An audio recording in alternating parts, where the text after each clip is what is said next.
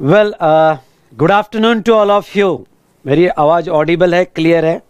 तो please reply कीजिएगा yes कहिएगा प्लीज़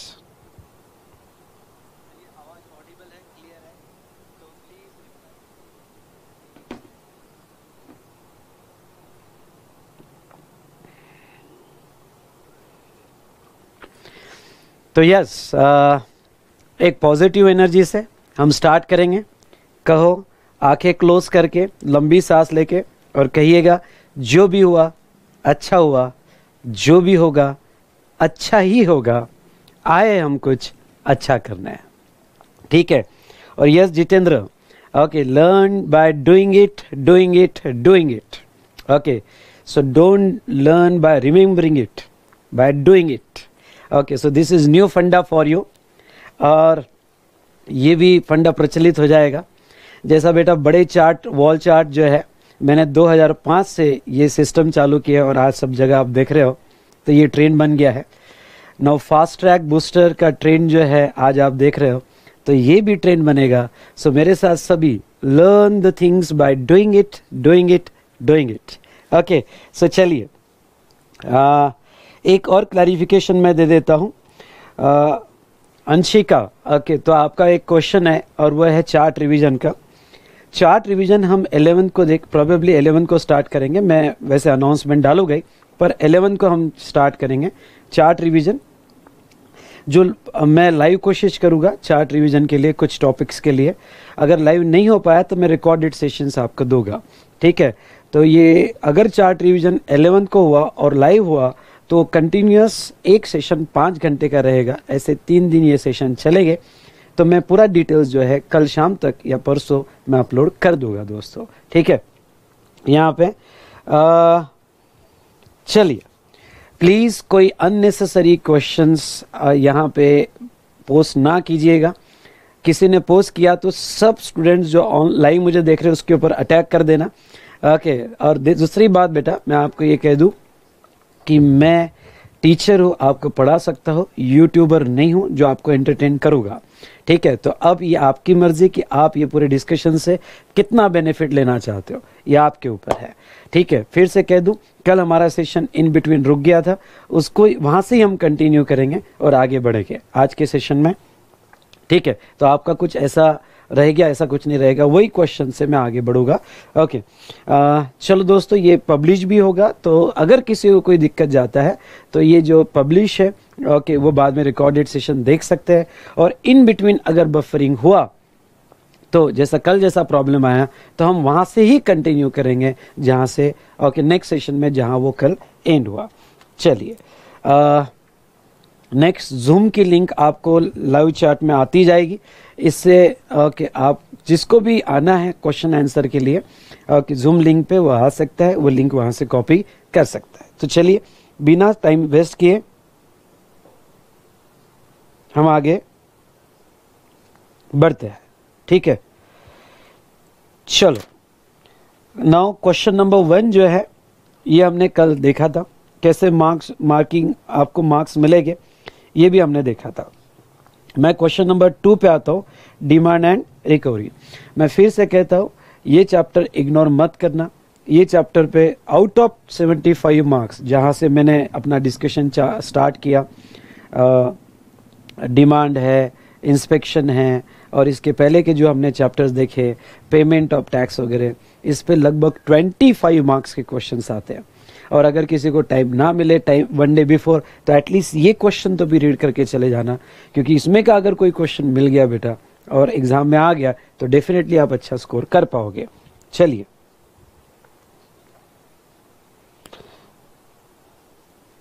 चलिए तो यहाँ पे स्टार्ट करें। Subrati enterprises collected GST question number two demand और रिकवरी चैप्टर में। Subrati enterprises collected GST on goods supplied by it from its customer GST collect किया उन्होंने। On the belief that said supply is taxable. However, later it discovered that goods are supplied by it exempt from GST. Okay. Note low. Analysis लिखो। अब मैं नहीं लिखूँगा। आपको कहूँगा कैसे लिखना है। क्वेश्चन में इन्वॉल्व हो जाओ। तो चलो फटाफट एनालिसिस लिखो साइड में। पहला, Subrati enterprises collected the tax short में collected the tax and thereafter found that it is exempted that is excess collection of tax ठीक है? The accountant of Subrati enterprises advise that the amount mistakenly collected by Subrati enterprises representing a tax was not required to deposited with government Accountant says no need to deposit to the government. Subrati Enterprises has approached you for seeking advice on the same. You are required to advise it elaborating the relevant provision. So दोस्तों यहाँ पे सबसे पहले तो अगर आप ये case पढ़ोगे तो एक्सेस कलेक्शन ऑफ़ टैक्स है चलो सेकंड स्टेप जो आप एनालिसिस कर रहे हैं मेरे साथ इन्वॉल्व हो जाओ मेरे साथ। अब क्वेश्चंस जो भी है, बंद कर दो क्वेश्चन पूछना। अभी आप नोटबुक लो पेन लो और मेरे साथ इन्वॉल्व हो जाओ। यहाँ जब तक मैं आपको कुछ ना कहूँ, कोई क्वेश्चन आप नहीं पूछोगे। ओके तो नाउ सेक्शन 76 हमें पूरा डिस्कशन सेक्शन 76 पे करना है। Open your book yes open your book और सेक्शन 76 निकालो। पहले आइडिया ले लो सेक्शन 76 का क्या है? हो सकता है आपको बिल्कुल याद नहीं आ रहा होगा। Okay excess collection of tax अगर याद भी आ रहा होगा तो ओपन योर बुक एक ओवरऑल आइडिया ले लो कि काय का था सेक्शन 76 ठीक है? तो ना सेक्शन 76 किया बुक ओपन आपने? चलो, अब आपने एक आइडिया ले लिया सेक्शन 76 क्या था. अब जो मैंने बुक में दिया होगा, हो सकता है वो बेयर टेक्स्ट है. इंस्टीट्यूट यहाँ पे उसको अपने ओन टेक्स्ट में दे रही है. और हम पढ़ेंगे और इसको समराइज करेंगे. तो आई होप आप ये प्रैक्टिस कर रहे हो समराइज करने का। ओके okay, बहुत काम आएगा। मुझे आप मुझे याद रखोगे बेटा। तो आप अगर कर रहे होगे तो यस कहो कहिएगा। ओके okay, मैं आपके यहाँ पे लाइव चैट देख रहा हूँ। तो आप यस कहिएगा बेटा। ठीक है? तो यहाँ पे चलो मैं रीड कर रहा हूँ। Provision of section 76 of C G S T act 2017 make it mandatory on Subrati Enterprises to pay amount collected from other person representing the tax under this act to the government. अब बेटा इतना इतना detail में लिखने की क्या ज़रूरत है? इसको शॉर्ट में लिख दो ना। Section 76 related to excess collection of tax excess collection of tax उसको भी आप ये पैराग्राफ में, ये पैराग्राफ में अगेन ओके आप समराइज आपको करना ही पड़ेगा। तो पहले पढ़ लेते हैं और फिर देखते हैं कि क्या वर्ड्स आने चाहिए। मतलब वो वर्ड्स आने ही चाहिए, वो स्टेटमेंट आने ही चाहिए हमारे आंसर में। उस पर फोकस बाकी आपकी लैंग्वेज नॉर्मल भी रही, थोड़ा ग्रामेटिकल मिस्टेक भी हुआ तो कोई दिक्कत नहीं है। लेकिन वो स्टेटमेंट वो वर्ड्स अगर दिख गए ना, यहाँ पेपर चेकर को बात खत्म। सेक्शन 76 दिख गया, बात खत्म। और अब अब तो भी सेक्शन 76 याद रह जाना चाहिए आपको कि ये किससे रिलेटेड था? 76 ठीक है? यहाँ पे section seventy six second paragraph में पढ़ रहा हूँ। Section seventy of C G S T act two thousand seventeen stipulate that notwithstanding anything to contrary contain in any order or direction of appellate authority or appellate tribunal uh, or court or any other provision of this act or rules made thereunder or any other law for time being in force every person who has collected from any other person any amount as representing the tax okay मुझे ये word बड़ा important है every person who collected from any other any other person an amount collected tax and has not been paid the said amount to the government shall forthwith pay the amounts to the government whether its supply in respect to amount was so collected हाँ मुझे ये चार line important है। अब बेटा, ये paragraph मैं आपको कह दूँ। ये जो पहली चार लाइन है ना ओके ये पहली चार लाइन नहीं भी लिखा एग्ज़ाम में तो भी चलेगा। Notwithstanding to anything stated in the order of tribunal code and section and rules okay ये चार लाइन नहीं भी लिखा तो भी चलेगा। हाँ अगर आपको लिखना है क्योंकि अगर इंस्टीट्यूट दे रहा है और वो एक्सपेक्ट कर रहा है और आपको ये लिखना है चार लाइन तो इसको एक लाइन में ओके लिख सकते हो। Okay section section 176 section 76 overriding the uh, orders given by court or other sections and rules of this act. And we state that okay अपने थोड़े ओन वर्ड्स में भी लिख दिया तो भी चलेगा। ओके okay, तो यहाँ पे ये चार लाइन आपने नहीं भी लिखे तो चलेगा या फिर ये चार लाइन को अपने ओन वर्ड्स में एक लाइन में भी कन्वर्ट किया तो भी चलेगा। ये आप पर है मैं सिर्फ़ गाइड कर सकता हूँ बेटा। ठीक है? तो यहाँ हाँ मुझे क्या लाइन चाहिए इसके अंदर? कि every person who has collected the any amount as a tax and not paid to the government then they shall forthwith pay that amount to the credit of central government ये section 76 अगर ये दोनों para को मैं combine कर दूँ तो section 76 related to excess collection of tax point number two section नहीं याद आ रहा है। तो as per the provision of C G S T act if any excess amount collected as a tax and that has not been paid to the central government that has not been paid to the central government then notwithstanding to any order of the court or any provision of this act for which such person has to pay the tax to the government दोनों paragraph मैंने तीन line में खत्म कर दिया और जो मुझे कहना था वो मैंने कह दिया कि एक्सेस कलेक्शन हुआ और फॉर विथ मुझे गवर्नमेंट के अकाउंट में पे करना पड़ेगा ओके okay. हाँ ये भी वर्ड आपका आना चाहिए कि whether such supplies in respect of such amount was collected are taxable or not बस आपने एक्सेस कलेक्ट किया। अब नेक्स्ट पैराग्राम में वो मेरे से क्या एक्सपेक्ट कर रहे हैं? देखो। Where amount is required to be paid to the central government as mention above and which has not been so paid the uh, the proper officer may serve on the person liable to pay such amount a notice requiring him to show cause as to why the said amount as specified in the notice should not be paid by him to the government and why the penalty equivalent to the amount specified in the notice should not be imposed on him under the provision of this act अब देखो ये again legal jargons again complicated words इसको simple way में आप कर सकते हो कैसे okay if amount as aforesaid यानी इतना फिर से लिखना। क्यों ना एक वर्ड उसमें डाल देना। If amount point number two if amount as aforesaid not paid to the government then proper officer will issue the show cause notice for demanding tax and penalty, if any. बस खत्म। एक line में खत्म।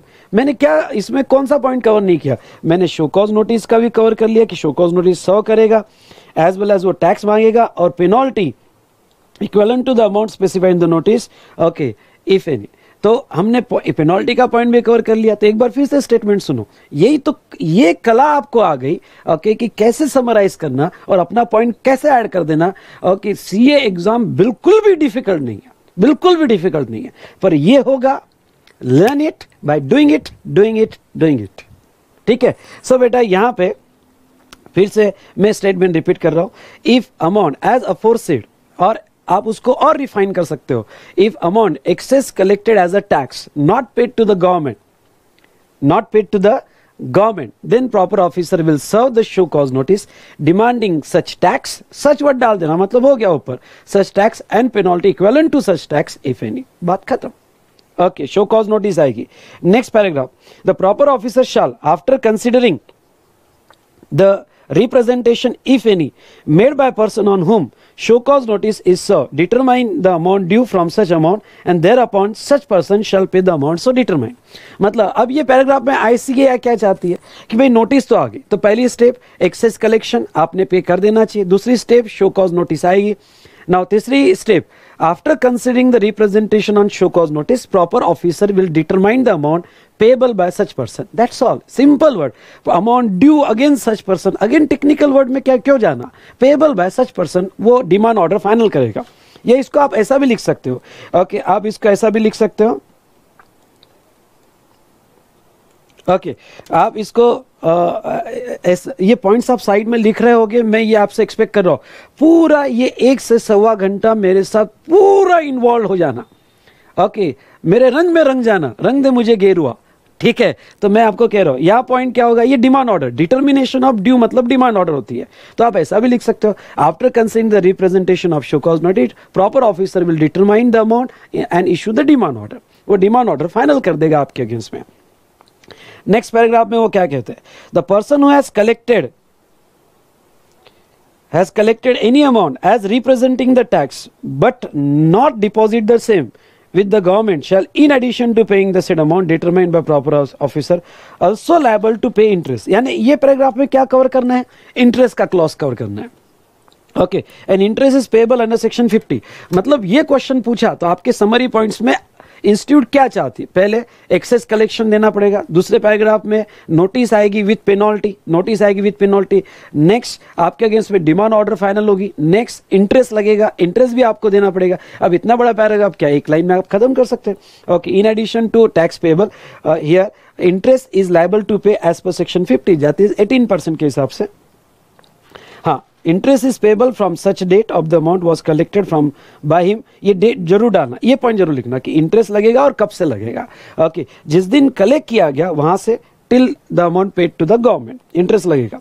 And last concluding para proper officer shall issue an order ये order आएगी within one year यहाँ order का time period देखो within one year from the date of issue of notice the proper officer in his order shall set up the relevant facts on the basis of he has taken the decision order वाला point cover कर लिया पहला एक बार फिर से okay okay, मेरे साथ पहला okay excess section 76 excess collection credit to government दूसरा show cause notice determination of due amount with penalty interest लगेगा ओके okay, और यहाँ पे डिमांड ऑर्डर फाइनल होगी। इतने पॉइंट्स में आपका आंसर फिट होना चाहिए। सो so, चलो दोस्तों ये समझ में आया क्वेश्चन ओके अगर आया होगा तो यस कहिए। ओके आपका रिस्पांस मुझे ज़रूरी है तो ही मैं इसको और इंप्रूव कर पाऊँगा और आपको और अच्छे से बता पाऊँगा कि इसको किस तरह से और आप आपने एज देना चाहिए। चलिए बेटा।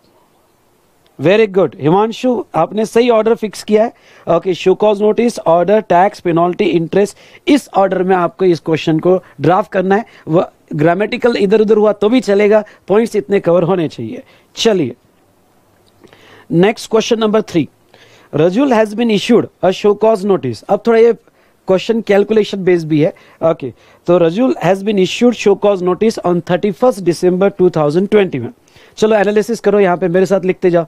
ओके लोअर नोट पैड और आपका पेन लिखो। शो कॉज नोटिस की डेट लिखो। Thirty first twelve two thousand twenty one सबने लिखा? ठीक है? Under section seventy three one of the C G S T act two thousand seventy one अच्छा सेवन सेक्शन कौन सा रेफर किया? एनालिसिस में जो जो मिल रहा है लिखते जाओ। फिर उसको अरेंज करेंगे ऑर्गेनाइज करेंगे। डेट मिल गई show cause notice section seventy three से रिलेटेड है। On account of short payment of tax हाँ केस है शॉर्ट पेमेंट ऑफ़ टैक्स की। लिखना case short payment of tax की है। आप इन्वॉल्व हो रहे हैं मेरे साथ? चलो, ठीक है।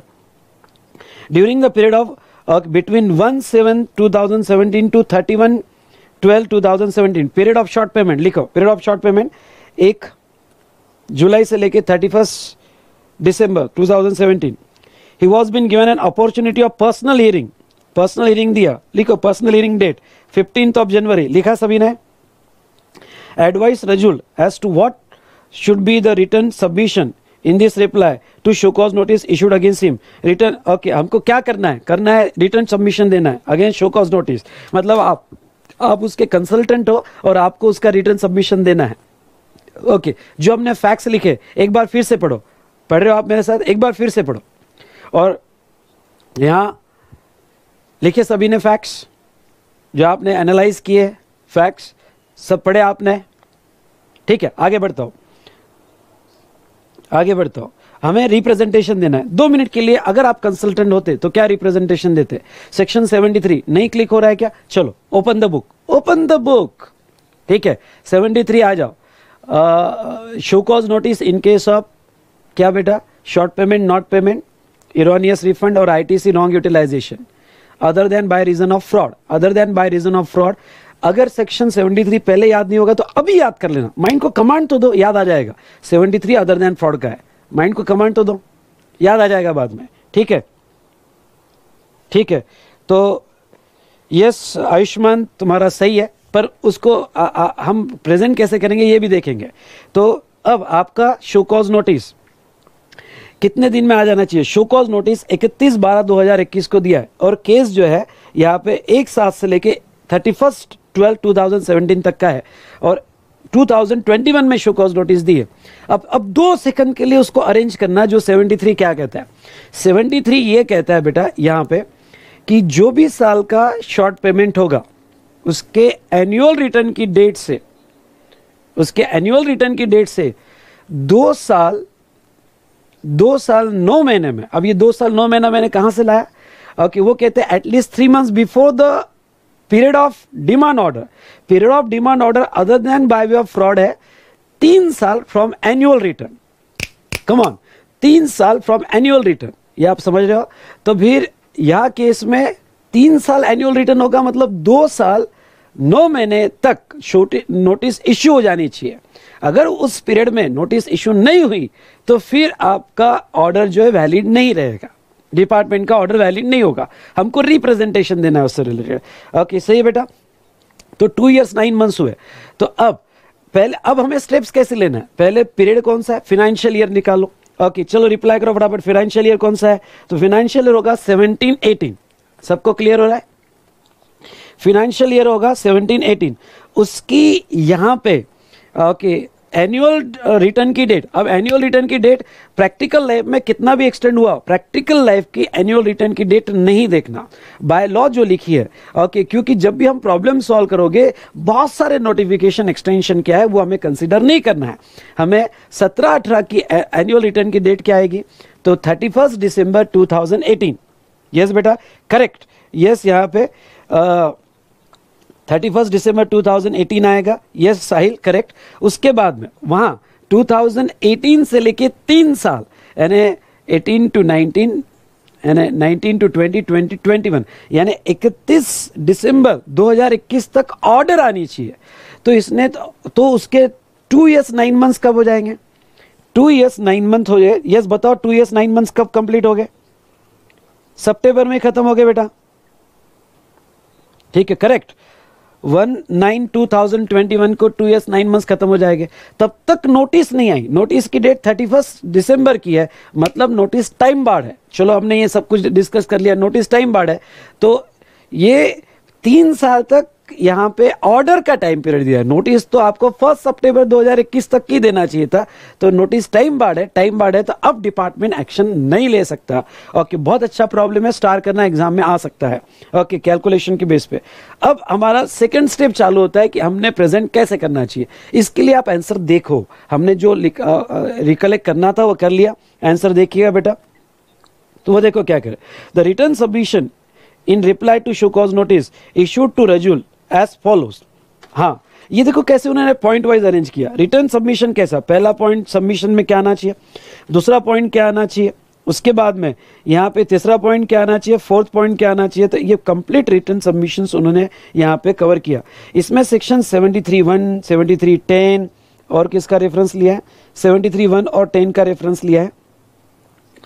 तो बेटा, और सेवेंटी फाइव, साइड में लिख लो, seventy three one, seventy three ten और सेवेंटी फाइव टेन का भी उन्होंने रेफरेंस लिया। देखते तो एक क्यों लिया? अब सर अगर टाइम पे हमें वन टू थ्री सबसेक्शन याद नहीं रहे तो डोंट वरी अगर सबसेक्शन याद नहीं रहे तो सेवेंटी थ्री तो याद है। As per seventy one batting करते as per seventy three batting करते जाना। बस सबसेक्शन डालने की ज़रूरत नहीं है। चलो, पहला रिप्रेजेंटेशन देखते क्या है। Show cause notice issued for normal period of limitation under section seventy three one is not sustainable हाँ रिप्रेजेंट करते टाइम ये सच में रियल प्रैक्टिस में हम रिप्रेजेंटेशन ऐसा ही करते हैं कि पहला पॉइंट कि आप जो भी डिपार्टमेंट ने एक्शन लिया, वो सही नहीं है, फिर उसके रीजन बाद में देंगे। पर इट्स नॉट सस्टेनेबल इसको अंडरलाइन करना। Show cause notice not sustainable exam में। क्योंकि जो पेपर चेकर है, जैसे ही वो ये देख लेगा, आपको एक मार्क दे दिया उसने यहाँ पे।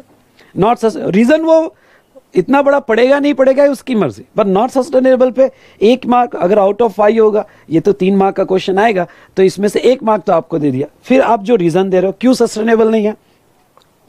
तो यहाँ पे show cause notice section 73 one CGST can be issued at late at least three months prior to time limit specified for issuance of show cause notice for issuance of order The adjudication order under section 7310 of CGST has to be issued within three months, uh, sorry, within three years from the due date of furnishing annual return. Word चाहिए कि ये show cause notice कितने दिन में और यहाँ पे within three years order okay within three years from the date of due date of furnishing annual return अब लिखते टाइम आपकी गड़बड़ क्या होगी?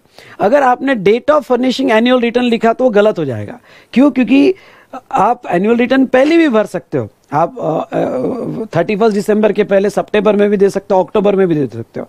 लेकिन आपका ये पीरियड जो है आपने कब एनुअल रिटर्न दिया तब से नहीं कैलकुलेट होगा। आपका पीरियड जो कैलकुलेट होगा जो ड्यू डेट थी उस दिन से कैलकुलेट होगा। इज़ इट क्लियर बेटा? तो इस बात का ध्यान रखना कि ये वर्ड आना ही चाहिए। ओके okay, ये जो यहाँ पे ड्यू डेट आपके समरी नोट्स में है कि important word due date of filing annual return वहाँ से डिमांड ऑर्डर तो बेटा, अब इसको इस तरह से भी लिख सकते हो, क्योंकि कैसा हो जाता है, बहुत सी बार स्टूडेंट कंफ्यूज हो जाते हैं कि show cause notice at least three months before the period of here issuing demand order period of issuing demand order और डिमांड ऑर्डर 73 टेन में दिया है, अभी याद हो जाता है तो ठीक, नहीं तो लियो इट 73 में यहाँ पे डिमांड ऑर्डर दिया है। या फिर आप ऐसा लिख सकते हो कि demand order okay by reason of fraud wilful collusion अब इसमें इंस्टीट्यूट जो है, ये एक पॉइंट भूल चुके हैं जो मैं आपको डालना, मैं आपको रेफर करूँगा कि आप ज़रूर डालो। As per section 73 okay if any short payment by reason other than fraud और वो अदर देन फ्रॉड को अंडरलाइन करना। अदर देन फ्रॉड वो वर्ड आना चाहिए, क्योंकि हम 74 के केस नहीं देख रहे 73 की देख रहे तो अदर देन फ्रॉड होगा then demand order shall be issued within three years from the due date of filing annual return of the financial year when in which short payment is done ठीक है? और उसके बाद में notice and also notice shall be serve before demand order मतलब at least three months before the period of demand order that is two years nine months ऐसा भी आप लिख सकते हो। या फिर जो यहाँ दिया है, उसको भी आप समराइज कर सकते हो बेटा। ठीक है? उसके बाद में उन्होंने यहाँ कंक्लूजन दिया है कि वो वही दिया है कि यहाँ पे टू ईयर्स नाइन मंथ्स आपने ओके okay, उसको हमने ऊपर ही कंबाइन कर लिया कि टू ईयर्स नाइन मंथ्स में होना चाहिए। फिर एक्चुअल दिया कि शो कॉज नोटिस यानी ये जो पीरियड है इसका एनुअल रिटर्न की डेट आ रही है।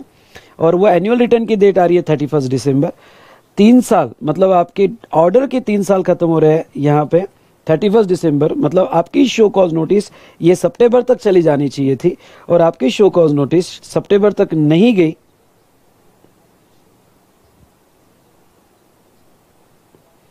Okay. तो यहाँ पे सितंबर तक नहीं गई तो deem to be concluded section 75 अगर आप पढ़ोगे तो सेक्शन 75 जो है ओके ये कहता है, अगर पढ़ोगे कि अगर विद इन टाइम आपकी शो कॉज नोटिस नहीं की तो आपकी case deem to be conclude मान ली जाएगी। ओके, ऐसे केस में आपके अगेंस्ट में कोई एक्शन नहीं हो जाएगा, वो टाइम बार माना जाएगा। ये वर्ड आना चाहिए आपका। इज़ बार्ड बाय लिमिटेशन हाँ ये टेक्निकल वर्ड है और ये एक्सपेक्ट करते हैं इसको अंडरलाइन करना कि this show cause notice is barred by limitation barred by limitation का मतलब होता है कि टाइम बार्ड हो गया। टाइम बार्ड भी लिख सकते हो, पर बार्ड बाय लिमिटेशन ये वर्ड थोड़ा टेक्निकल वर्ड है लीगल जॉर्गन्स में, और ये एक्सपेक्ट करती है इंस्टीट्यूट ठीक है? ये हमने देखा।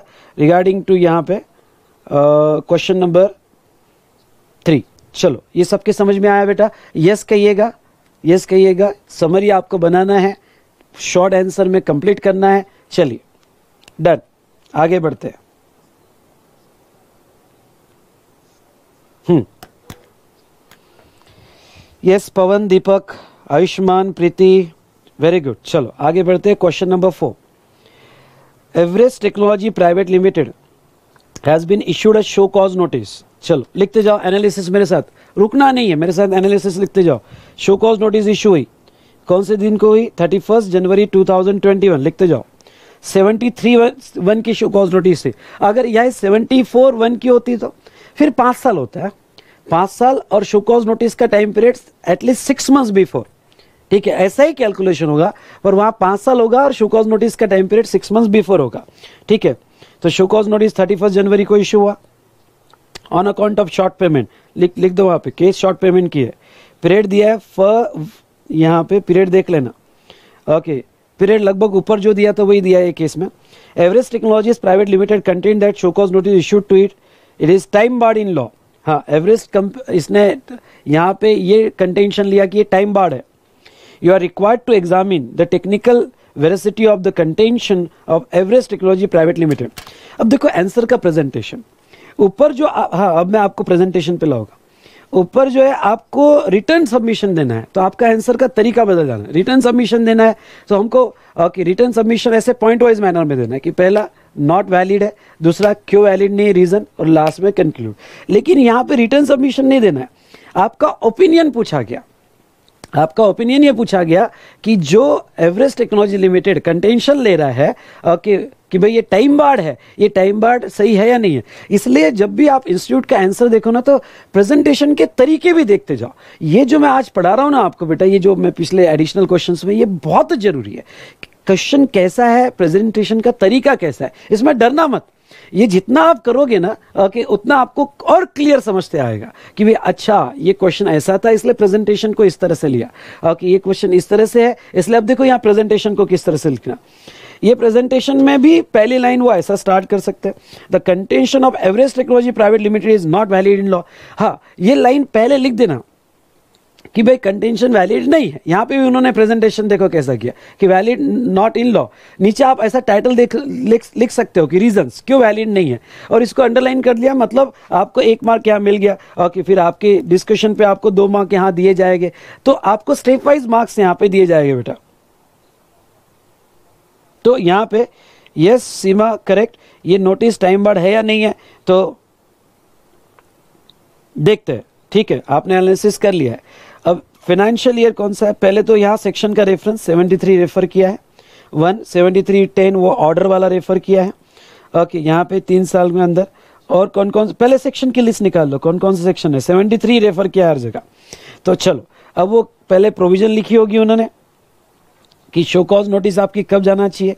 तो डिमांड ऑर्डर आपका थ्री इयर्स उसके at least three months before show cause notice जैसे हमने ऊपर लिखा वैसे ही okay from the due date of filing annual return ये आपकी प्रोविज़न आनी चाहिए। एनुअल रिटर्न आपका थर्टी फ़र्स्ट दिसंबर को जाएगा।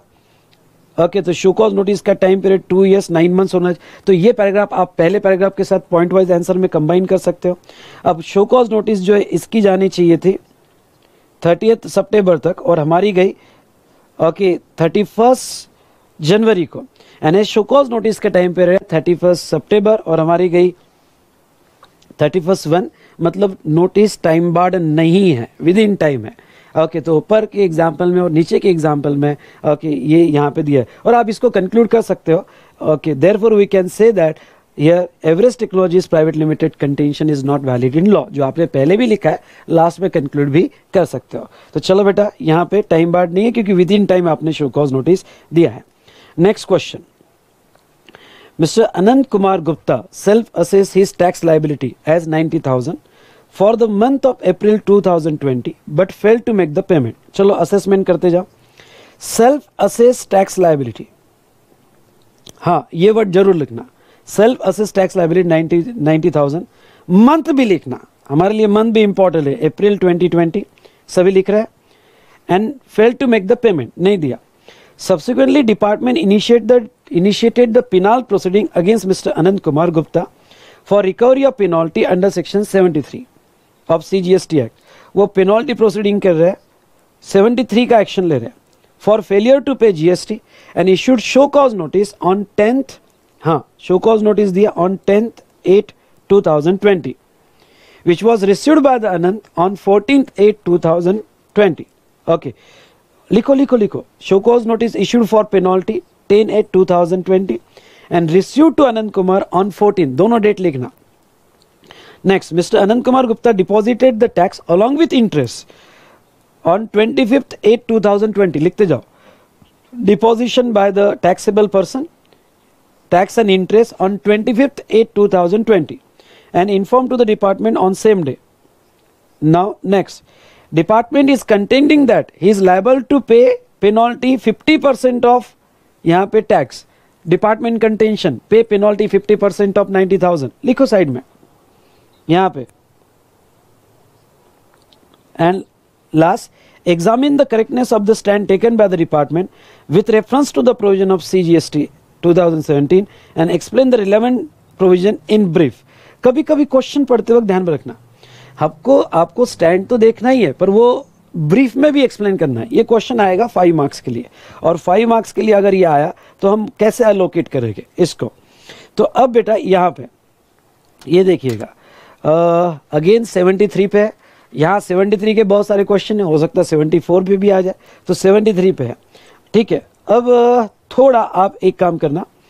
Uh, मैं जो आपकी बुक ओपन होगी और सेक्शन 73 ओपन होगा तो उसमें ये देखो कि पेनल्टी कितनी है। ओके, यहाँ पे प्रोसेस देखो कैसी है। दो मिनट देख लो, फिर मैं आपको समझाता हूँ क्या है तो। Just see that Akanksha, Mahesh, okay, थोड़ा आप रीड करो और फिर जो है हम देखेंगे। पहले आप रीड कर लो कि किस तरह से। 73 का केस है। पेनल्टी कब लगती है, कब नहीं लगती है, आप थोड़ा प्रॉपरली देखो पहले।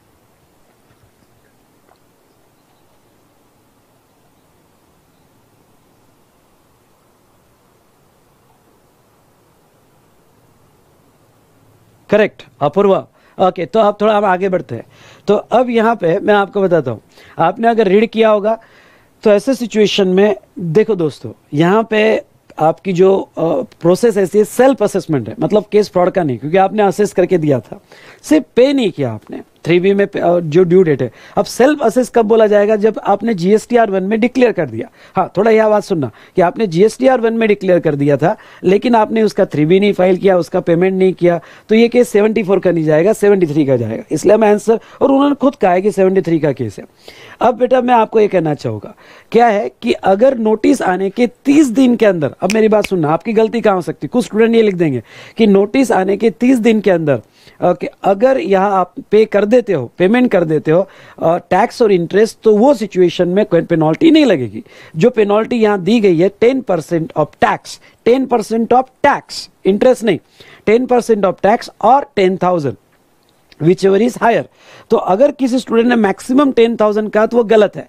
वो है टेन परसेंट ऑफ़ टैक्स और ten thousand whichever is higher ये उसके प्रॉपर वर्ड्स होने चाहिए। ओके आई होप यहाँ पे ओके okay, आप सही पढ़ रहे होगे। दूसरी बात लेकिन यहाँ ये बात को भी जानना ज़रूरी है। ओके okay, जो सेवेंटी थ्री एलेवन एक सेक्शन है सेवेंटी थ्री एलेवन पे हमने स्पेशल डिस्कशन भी करना किया था। तो मेरे हिसाब से यहाँ पेनल्टी लगेगी। ओके इवन तो आपने तीस दिन के अंदर पेमेंट किया हो, पहले तो देख लेते कि आपने तीस दिन के अंदर पेमेंट किया कि नहीं किया। आपने पेमेंट कब किया बेटा? पच्चीस आठ को। आपको शो कॉज नोटिस जो है, दस आठ को इश्यू हुई थी। हाँ तो आपने जिस दिन शो कॉज नोटिस सर्व हुई, जिस दिन रिसीव हुई नहीं, जिस दिन शो कॉज नोटिस सर्व हुई, उसके तीस दिन के अंदर। तो बेटा, तीस दिन के अंदर यस दस आठ से लेके पच्चीस आठ आपने पे कर दिया। तो कोई स्टूडेंट ये लिख सकता है आंसर गलती होने के चांसेस कोई स्टूडेंट जो है यहाँ पे कोई स्टूडेंट जो है यहाँ पे ये आंसर लिख सकता है। और क्या आंसर लिख सकता है बेटा यहाँ पे? कि उसने जो है यहाँ थर्टी डेज़ में पे कर दिया, इसलिए पेनल्टी नहीं लगेगी। थर्टी डेज़ में पे कर दिया, इसलिए पेनल्टी नहीं लगेगी। लेकिन बेटा ध्यान से सुनो। यहाँ ये सेल्फ असेसमेंट टैक्स है। एक बार फिर से मैं कह दूँ, ये सेल्फ असेसमेंट टैक्स है। और ये सेल्फ असेसमेंट टैक्स है तो 7311 ये कहता है कि अगर आपने जो ड्यू डेट है, और ड्यू डेट से 30 दिन के अंदर कमॉन ड्यू डेट से 30 दिन के अंदर अगर आप पे नहीं करते हो तो वो केस में इरिस्पेक्टिव ऑफ़ अर्लियर प्रोविज़न आपको ये पेनल्टी लगेगी ही लगेगी स्पेशली सेल्फ असेसमेंट टैक्स से रिलेटेड ठीक है? सेल्फ असेसमेंट टैक्स से रिलेटेड तो ऐसे सिचुएशन में ओके आपका कौन से पीरियड का था बेटा? अप्रैल अप्रैल की ड्यू डेट अगर हम 20 फरवरी माने तो 20 फरवरी से 30 दिन के अंदर आपने पेमेंट नहीं किया। अगर पेमेंट नहीं किया तो आपको नॉट विस्टैंडिंग टू कि you paid within thirty days of show cause note etcetera etcetera notwithstanding to that fact आपको पेनल्टी लगेगी। स्पेशली सेल्फ असेस टैक्स होगा। इसलिए सिचुएशन दो पार्ट में डिवाइड होगी।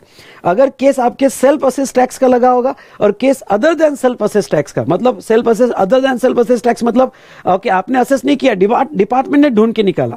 अगर सेल्फ असेस टैक्स का लगा होगा और ड्यू डेट से 30 दिन में पेमेंट नहीं हुआ होगा तो फिर आपको पेनल्टी लगेगा ही लगेगा, वो है 10 परसेंट ऑफ़ टैक्स और 10 परसेंट ऑफ़ टैक्स और यहाँ पे क्या बेटा? Ten thousand whichever is higher हाँ अदर अदर मतलब ऑफिसर ने यहाँ पे ढूंढ के निकाला कि शॉर्ट पेमेंट हुआ है या आपने टैक्स नहीं दिया है तो वो केस में अगर आप शो कॉज नोटिस के तीस दिन में दे देते हो तो वो केस में आपको कोई पेनल्टी नहीं लगेगी। ठीक है बेटा?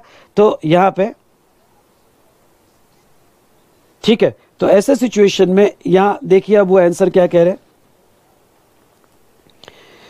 30 days from the due date. Dekho as per section 73 of cgst act where self assessed tax is not paid within 30 days from the due date payment of such tax okay penalty equivalent to the 10% of tax of which is high is payable.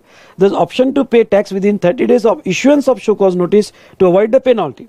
Since in given case Mr. Anant Kumar Gupta has not paid the self-assessed tax within 30 self-assessed tax within 30 days, that is 25 2020 penalty equals to 10 percent or 10,000 whichever is higher. तो ये case में whichever is higher जो है 10,000 होगा. Hence stand taken by department that penalty will not be levied to Mr. Anant Kumar Gupta is is correct. Sorry, penalty will be levied on Mr. Anant Kumar Gupta is correct. An amount is लेकिन जो amount है, वो forty thousand वो correct नहीं है। यानी penalty तो लगेगा, लेकिन अमाउंट जो फोर्टी फाइव थाउज़ेंड है, वो करेक्ट नहीं है।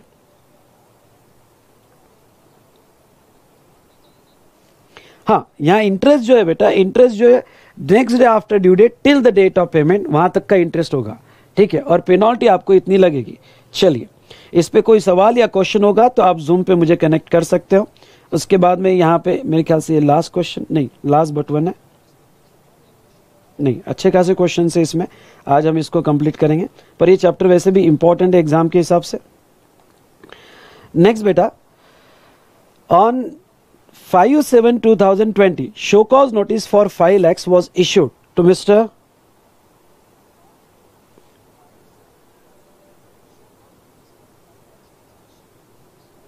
चलो on 5 7 2020 a show cause notice of rupees 5 lakhs was issued to Mr. Vijay Kumar Sharma demanding short payment of GST rupees 4 lakh 50,000 for the month of January 2020 and also interest 50,000 ठीक है लिख तो analysis में show cause notice I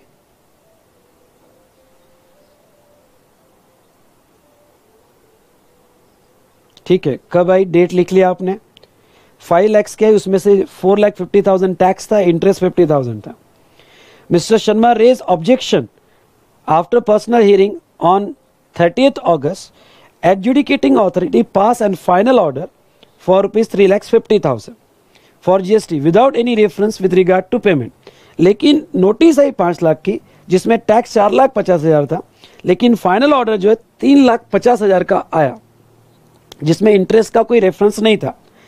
Mister Sharma deposited three lakhs fifty thousand on second September लिखो analysis में।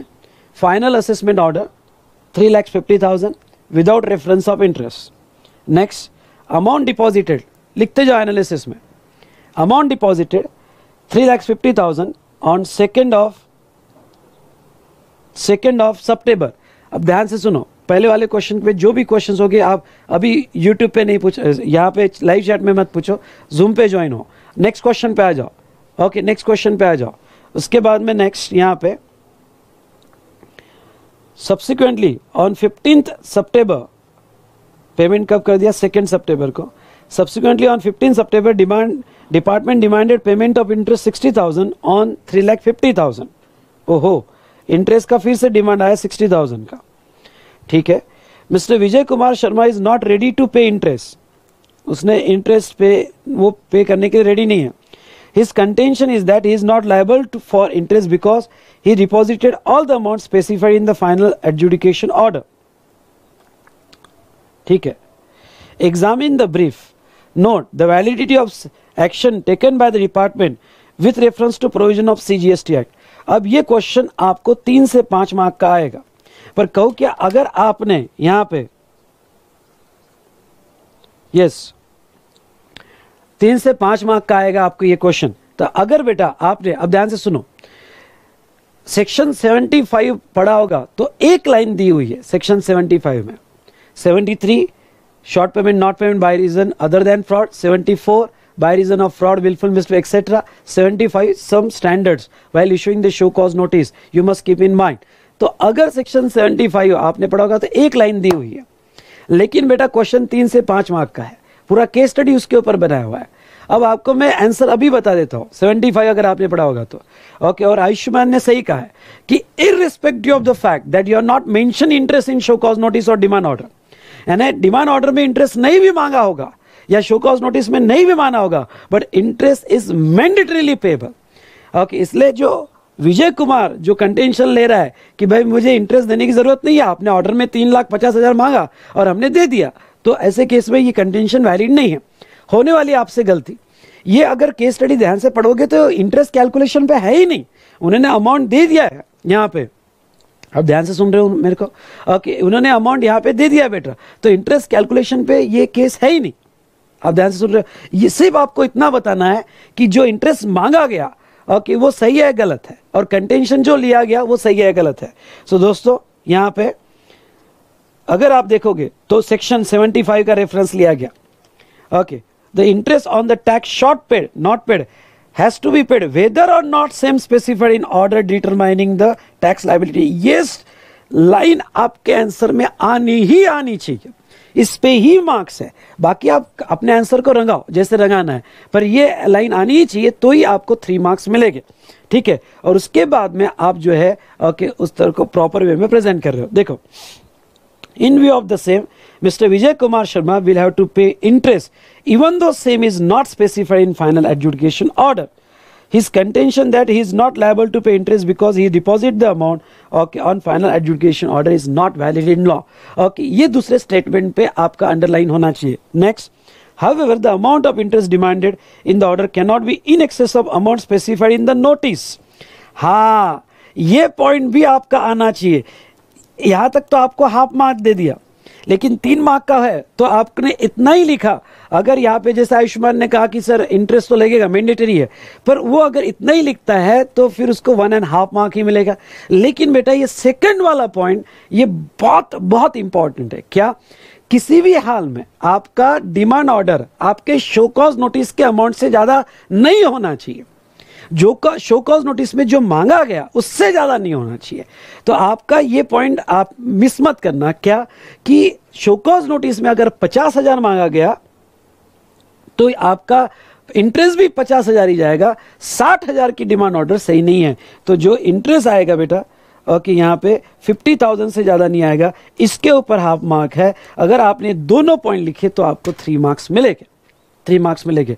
तो ये तरीका होता है बेटा कि आंसर कैसे लिखना चाहिए। ओके इसलिए ये साइकोलॉजी से बाहर आओ कि हम एग्ज़ाम के टाइम वो तीन घंटे में संभाल लेंगे यार। जान दे, अभी क्वेश्चन आंसर नहीं पढ़ते ओके टेंशन आता है। अरे, हमको याद नहीं आ रहा है। ओके लिव इट यार। क्यों टेंशन ले रहे हो? Okay answer read the answer see the way of presentation what the points the required and learn it by come on learn it by doing it doing it doing it ठीक है? तो चलो, यहाँ पे ये वाला पॉइंट हमने देखा। नेक्स्ट पे आते हैं। नेक्स्ट क्वेश्चन नंबर सेवन चलो बेटा, यहाँ तक सबको समझ में आ रहा है। यस कहो फटाफट। यस कहो, जो भी आपके क्वेश्चन है जूम पे आ जाना। यहाँ तक तो जो यस कहो फटाफट। ठीक है। यस तो now checker not has self assess the tax liability under IGST act 2017 analysis लिखते जाओ मेरे साथ। सेल्फ असेस टैक्स अस्सी हज़ार है। सेल्फ असेस टैक्स अस्सी हज़ार है। He fails to pay tax within thirty days from the due date of payment of such tax दूसरा पॉइंट लिखो। Not paid within due date of payment of tax determine interest and penalty payable by him explaining the provision of law अच्छा। Okay अब ये question में बेटा यहाँ पे section पे मार्क्स रहेंगे। एक मार्क रहेगा सेक्शन पे। तो पूरे हंड्रेड मार्क्स में से कुछ क्वेश्चन ऐसे होते हैं कि जहाँ लिखा जाता है explaining with the provision of law यानी सेक्शन आपसे रेफर एक्सपेक्ट करते हैं। तो सेक्शन 73 आपको याद आना चाहिए। और इतना आप डिस्कशन कर लिया, आपने टाइम दे दिया 73 तो दिमाग में घुस गया होगा। 73 है 75 है, हमने देखा 76 है, ये सेक्शन तो दिमाग में घुस गए होगा आपके। Okay with following particulars available from this record date of collection of tax 18 सितंबर और date of payment of tax 26 नवंबर ठीक है? यानी कस्टमर से 18 सितंबर को लिया, हमने और पेमेंट किया 26 नवंबर को। No show cause notice has been issued to him so far while intended to discharge his liability, even before it is issued to him, on assumption that no penalty is leviable. चलिए, आपको क्या समझ last वाला para, आप फिर से एक बार पढ़ो, फिर से एक बार पढ़ो, और वो क्वेश्चन में हमारे से चाहते क्या है? और हमने आंसर में कौन से एरिया में एम्फोसाइज करना चाहिए? अगर आप आंसर इतना ही लिखोगे यहाँ पे दोस्तों कि in given case payment is not made self assist tax is not paid within thirty days then penalty has to be paid and etcetera etcetera इतना लिखोगे कि मार्क पूरे हाथ में नहीं आएँगे। कि भाई ठीक है हमने पहले भी डिस्कस किया कि वो तीस दिन में दिया तो notwithstanding to fact that कि पेमेंट इज़ पेड अर्लियर और नॉट पेनल्टी देना पड़ेगा। ओके okay, वो ठीक है लेकिन वो लास्ट पैराग्राफ में कुछ पॉइंट्स दे रहे हैं उस पर आपसे एक्सप्लेनेशन चाहते हैं। हाँ अगर आप वो समझ रहे हो तो यहाँ पे वो ये कह रहे हैं कि नोटिस नहीं आई। पहले वाले एग्ज़ाम्पल में क्या गया था? नोटिस आने के तीस दिन में हमने दे दिया। यहाँ पे वॉलंटरी पेमेंट कर रहे हैं। वॉलेंट्री पेमेंट एक क्लॉज है 73 74 में। अगर वॉलेंट्री पेमेंट आपने कर दिया तो आपके ऊपर पेनल्टी नहीं लगती है 73 में। और 74 में आपके ऊपर 15 परसेंट की पेनल्टी लगती है। तो इन सिंपल वर्ड कि अगर आप वॉलेंट्री पेमेंट कर रहे हो और सेल्फ असेस होगा तो ऑलवेज 73 में ही होगा, क्योंकि आप डिक्लेयर कर रहे हो उसको। वो other by reason of fraud है। तो अब ऐसे सिचुएशन बेटा, यहाँ पे सेल्फ असेस टैक्स होगा। तो ऐसा सिचुएशन में, यहाँ, चलिए। तो सेल्फ असेस टैक्स होगा तो वो केस में पेनॉल थर्टी डेज़ में नहीं दिया। वॉलंट्री भी दिया होगा। वॉलंट्री भी दिया होगा। तो भी सेक्शन सेवेंटी थ्री एलेवन बहुत स्ट्रिक्ट है। वॉलंट्री भी दिया होगा तो भी आपको पेनल्टी लगेगी। ओके तो अगर 30 दिन से ज़्यादा हुआ होगा, आपने पेमेंट ओके ट्वेंटी सिक्स नवंबर को दिया और आप ये कलेक्ट किया था सितंबर सितंबर की ड्यू डेट जो है सुनो सितंबर की ड्यू डेट आएगी 20 अक्टूबर यानी आपने कस्टमर से कलेक्ट किया सितंबर ड्यू डेट आएगी 20 अक्टूबर और 20 अक्टूबर से आपने यहाँ पे 30 दिन में कलेक्ट करना चाहिए। तो आपने 30 दिन में कलेक्ट नहीं किया मतलब आपका यहाँ पे टोटल ज़्यादा पीरियड हो गया 37 डेज़ हो गया। तो आपसे यहाँ पे no doubt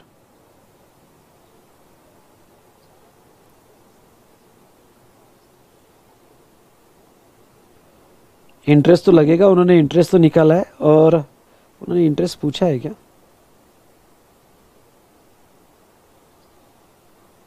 determine the interest बोला है। डिटरमाइन द इंटरेस्ट और पेनल्टी आपको दोनों निकालना है। आप किस यहाँ पे एनालिसिस में आना जाना चाहिए।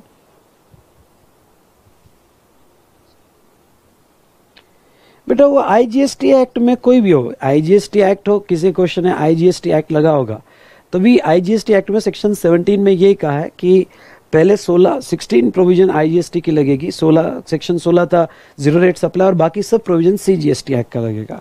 तो आईजीएसटी एक्ट खुद कहता है कि बाकी सब प्रोविज़न सीजीएसटी एक्ट का लगेगा। इसलिए सेक्शन 73 आईजीएसटी एक्ट में है ही नहीं। आईजीएसटी एक्ट में टोटल जो है 19 सेक्शन है, उसमें सेक्शन 17 ये कहता है, ध्यान सुनना, कि बाकी सब प्रोविज़न सीजीएसटी एक्ट की लगेगी। इसलिए आपको यहाँ सीजीएसटी एक्ट ही लेना पड़ेगा। ध्यान से सुनिएगा। तो 37 डेज़ इन्होंने इंटरेस्ट निकाला, ये चेक कीजिएगा। ओके, उसमें सेक्शन 50 का रेफरेंस लिया है तो इंटरेस्ट सेक्शन 50 अब दिमाग में फिट हो जाना चाहिए आपके। ओके, और 30 डेज़ में पे नहीं किया, इसलिए पेनल्टी भी लगेगी। क्यों ना वो वॉलंट्रीली पे कर रहा हो?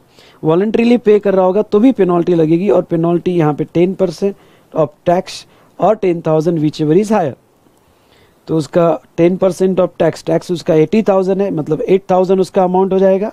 ओके और ये विच एवर इज़ हायर इस तरह से आपको कैलकुलेट करना पड़ेगा और आपको एक कमेंट भी डालना पड़ेगा, अगर हो सके तो। वो कमेंट ये डालना बेटा कि even though tax voluntarily paid but in case of sales assess tax if not paid within thirty days from the due date तो वो सिचुएशन में आपको पेनल्टी लगेगी ही।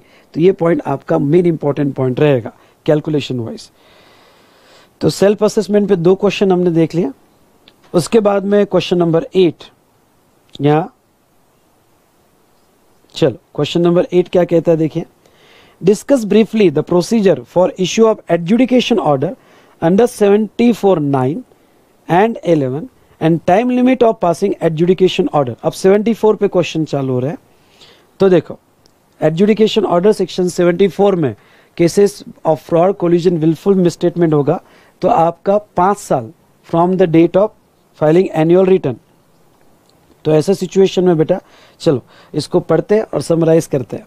Procedure for issue of adjudication order under section 74 where show cause notice or statement is issued to a person chargeable the tax, he may furnish the representation to proper officer in his defense. If he is of view that he is not so liable to pay whole or part of the amount mention in show cause notice यहाँ यह word आना चाहिए show cause notice और statement हम summarise करेंगे पहले पढ़ लेते हैं। उसके बाद में proper officer after considering the representation if any made by the person मतलब रिप्रेजेंटेशन है। ओके okay, उसके अमाउंट निकालेगा अमाउंट कितना ड्यू है इंटरेस्ट और पेनल्टी उसके बाद में where any person served with an education order pays the tax along with interest interest section 50 में जाएगा penalty equivalent equivalent to 50 percent within 30 days of communication of order okay अगर आपने payment कर दिया तो नाउ 7410 ये कहता है proper officer shall issue the adjudication order within five years from the due date of furnishing annual return for the financial year to which tax not paid, short paid or input tax credit wrongly availed or within five years from the date of erroneous order. Okay, तो अब देखो थोड़ा यह point समझ लो। Question क्या है और उसको आंसर किस तरह से प्रेजेंट किया? Discuss briefly procedure for issue of adjudication order मतलब उन्होंने issue of show cause notice के बारे में नहीं कहा। इश्यू ऑफ़ एडजुडिकेशन ऑर्डर 74 9 74 11 की पूरी प्रोसीडिंग बता सेक्शन के साथ। अब होने वाली आपकी मिस्टेक क्वेश्चन पढ़ते आना चाहिए। होने वाली आपकी मिस्टेक क्या है? आपने सेक्शन 74 पढ़ लिया, शुरू हो गए शो कॉज नोटिस जाएगी at least six months before जाएगी वॉलेंट्री पेमेंट बैटिंग किया। ओके और स्पेसिफिक एरिया में नहीं किया तो मार्क्स तो कटेंगे। अब आपने 10 मिनट लगा दिए वो आंसर लिखने, और आपको आउट ऑफ़ ये क्वेश्चन पूछा गया तो आउट ऑफ़ फाइव में से एक मार्क या डेढ़ मार्क मेरे जैसा तो पेपर चेकर देगा आपको। क्योंकि आपको क्या पूछा गया और आप क्या लिख रहे हो? अगर आप अननेसेसरी यहाँ पे ओके okay, लिखते रहे। और आपने ये लिखा यहाँ पे कि वो show cause notice दोगा at least six months before जाएगा other than fraud voluntary payment होगा। ओके okay, उसके बाद में शो कॉज नोटिस के तीस दिन मिले तो पेनल्टी पंद्रह परसेंट ओके तो बेटा बिल्कुल मार्क्स हाथ में नहीं आएँगे। उन्होंने डिमांड ऑर्डर की प्रोसेस पूछा है। ओके okay, तो डिमांड ऑर्डर से आप स्टार्ट कर सकते हो। आप ऐसा भी स्टार्ट कर सकते हो कि पहले आप डिमांड ऑर्डर की सेवेंटी फोर टेन ये जो लास्ट वाला पैराग्राफ है ओके लिखो एनालिसिस में ये लास्ट वाला पैराग्राफ ये पहले भी बना सकते हो कि भाई आपने demand order within 5 years from the date of due date of furnishing annual return of the financial in of the financial year in which short payment is done okay पाँच साल के अंदर आप जो है डिमांड ऑर्डर इशू कर सकते हो ओके okay, ये पॉइंट लिखा उसके बाद में डिमांड ऑर्डर फाइनल कैसे हो सकती है तो अब डिमांड ऑर्डर का पॉइंट आपने लिख लिया। उसके बाद में फाइनल कैसे होती है? तो procedure for finalising demand order show cause notice या स्टेटमेंट सर, ये स्टेटमेंट वर्ड क्यों आ रहा है? आपको बताता हूँ शोकॉज नोटिस आई, पर उसके बाद में और पता चला कि अर्लियर पीरियड का कुछ बाकी रह गया है। हाँ ये थोड़ा पॉइंट समझना। अर्लियर पीरियड का कुछ और एडिशनल ये मिला कि आपने उसी पीरियड में और शॉर्ट पेमेंट की है। तो फिर से दूसरी शो कॉज नोटिस नहीं देते, बस स्टेटमेंट देते हैं, जो part of the show cause notice माना जाता है। इसलिए अगर आप ये लिखोगे शो कॉज नोटिस और स्टेटमेंट तो ये बहुत अच्छा इंप्रेशन आपका आएगा। क्योंकि स्टेटमेंट भी ओके अगर कुछ पुराने पीरियड की, जो पीरियड की शो कॉज नोटिस जा चुकी है उसको वही पीरियड का अगर शॉर्ट पेमेंट हाथ में मिलता है तो वो स्टेटमेंट के थ्रू रिकवर किया जाता है। ओके और वो part of part and parcel of show cause notice माना जाता है।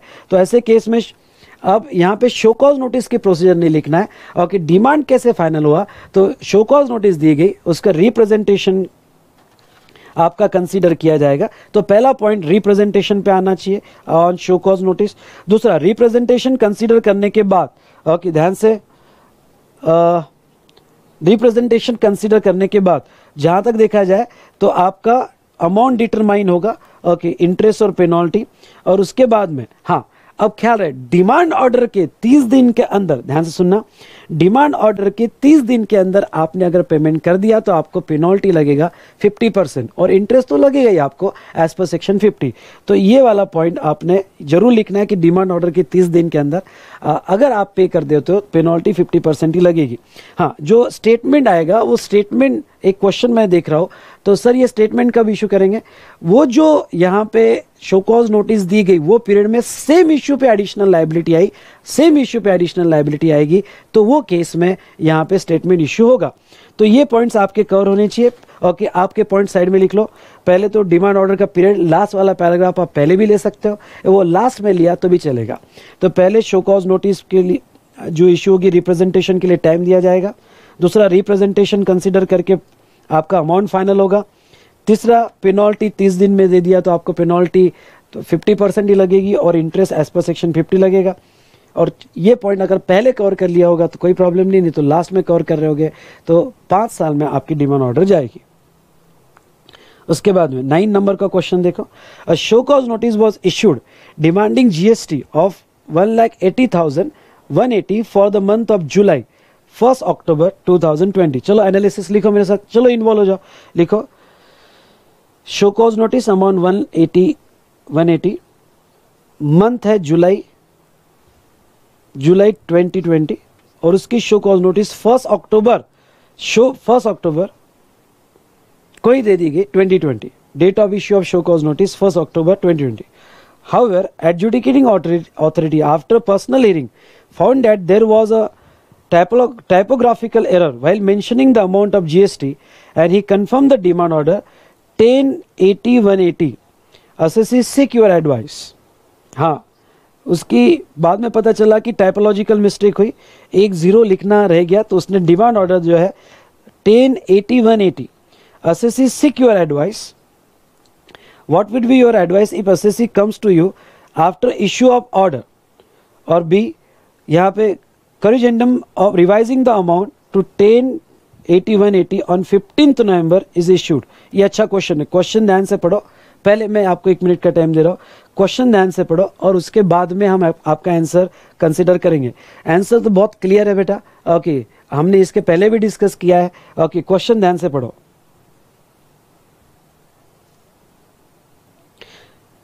क्वेश्चन ध्यान से पढ़ो। ठीक है। टाइपोलॉजिकल मिस्टेक हो गई थी तो उसने क्या किया? डिमांड ऑर्डर में जहाँ तक है एक्स्ट्रा अमाउंट मांग लिया। तो बेटा, अगर आप आओगे तो सेक्शन सेवेंटी फाइव सेवन यानी देखो, दो बार ये एरिया में क्वेश्चन है तो ये सेक्शन बहुत इंपॉर्टेंट है। Seventy five seven sub section याद रह जाए तो बहुत अच्छी बात। तो क्या कहता है? Inter alia amount of tax interest और penalty demanded in the order cannot exceed the amount specified in notice ये वर्ड्स आने चाहिए आपके। दूसरा in given case amount of tax demanded in the order exceed the amount of tax demanded in show cause notice the assessee can file an appeal against the adjudication order वो appeal में जा सकता है within prescribe time limit okay वो appeal में जा सकता है advice after issue of okay यहाँ पे करोजेंडम तो ये एक सेक्शन 161 है जो एडिशनली आपको पढ़ना है ओके okay, वो क्या कहता है देखो यहाँ पे an authority who has issued inter alia any notice may rectify error which is apparent on the face of record in such notice inter on its own motion within a period of six months. अगर authority ने कोई notice दिया होगा तो वो notice rectify कर सकता है। छह महीने के अंदर from the date of issue of notice except where rectification is purely in the nature of correction of clerical और arithmetical error arising from the accidental slip और ओमिशन यानी क्लरिकल या अर्थमेटिकल एरर होगा तो वो करेक्ट कर सकता है। In given case, since here whatever the corrigendum has been issued to rectify the typological mistake in, in the show cause notice, which is an error apparent on the face of record, the rect rectification is correct in law. Further being rectification of clerical error, the time limit of six months will not apply. Therefore, assessee should reply to the show cause notice considering the revised amount of demand. ठीक है अब देखो यहाँ पे दो case है एक assessee comes to you after issue of the order. Or second here curriculum revised amount of 10 lakh 80,000 on 15th November 2020 is issued. तो इसके लिए बेटा उन्होंने सेक्शन 161 का रेफरेंस लिया और 161 में वो रेक्टिफाई हो सकता है।